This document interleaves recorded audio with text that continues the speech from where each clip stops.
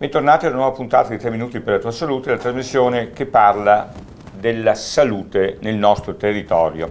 Ecco, abbiamo il piacere di riavere, come è venuto l'altra settimana, il dottor Toffoletto, che è il primario di anestesia e rianimazione dell'ospedale di San Donà, ma diciamo di tutta l'ULS. Ecco, oggi vorremmo che lui ci spiegasse due problemi. Uno, se secondo lui la nostra rianimazione e il servizio di anestesia deve ancora migliorare e secondo te c'è qualche cosa da fare? E poi ti faccio un'altra domanda.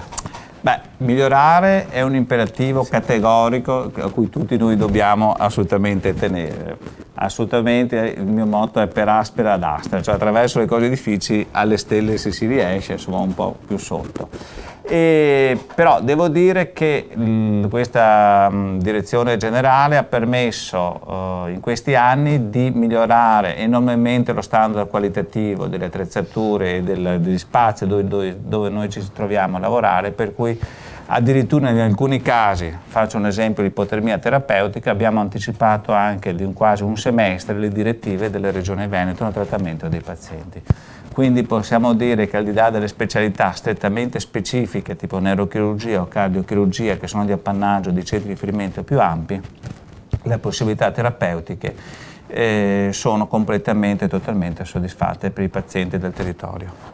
Bene, eh, un'altra cosetta che eh, lui ha fatto diventare una cosa importante, perché l'ha avviata qua a San Donà, è eh, il centro della terapia antalgica che l'ha sviluppato e quindi non occorre più andare come si andava una volta a Mestre, eccetera, ma si, si può essere curati qui da noi. Sì, abbiamo dato un notevole sviluppo a questo uh, settore terapia anche perché sappiamo che un paziente che ha dolore, un, che soffre il dolore, si riesce ad avere il sollievo del dolore là vicino a casa è di tutto di guadagnato, sia per lui sia per la struttura stessa che non deve sobbarcarsi di ulteriori costi. Per cui abbiamo eh, messo delle innovative tecniche per il trattamento del dolore non maligno ma del dolore cronico, ad esempio mal di schiena affligge circa l'80% della popolazione. Tutti noi abbiamo avuto mal di schiena almeno una volta nella nostra vita e eh, abbiamo collabora in collaborazione con i centri di riferimento di Mestre, di Padova, con i centri di riferimento, eh, abbiamo sviluppato un'opera di integrazione in modo che i pazienti se